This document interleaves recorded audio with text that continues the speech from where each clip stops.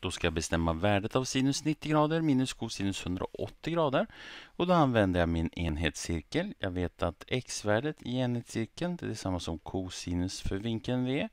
Och y-värdet är detsamma som eh, sinus för vinkeln v. Och då är frågan sinus 90 grader, var någonstans hamnar jag där? Var är y-värdet? Och då tar jag och tänker mig en punkt här då som får röra sig på den här cirkeln. Så att den här vinkeln blir 90 grader. Då befinner jag mig där uppe. Här har jag vinkeln 90 grader. Så. Och då är y-koordinaten 1. Så sinus 90 grader är lika med 1. Och så sen gör jag likadant och tittar på cosinus 180 grader.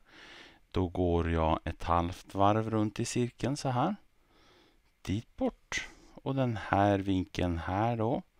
Den är 180 grader. Nu blev den här väldigt kluttrigt ritad. Eh, den är 180 grader och då x-koordinaten svarar ju mot cosinus. Så x-koordinaten är ju minus 1 här. Så cosinus 180 grader är lika med minus 1.